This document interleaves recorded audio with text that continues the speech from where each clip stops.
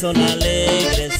Hay unos muy pobres que no tienen nada, son los que prefieren que nunca llegara Navidad que vuelve, tradición del año. Unos van alegres y otros van llorando. Navidad que vuelve, tradición del año.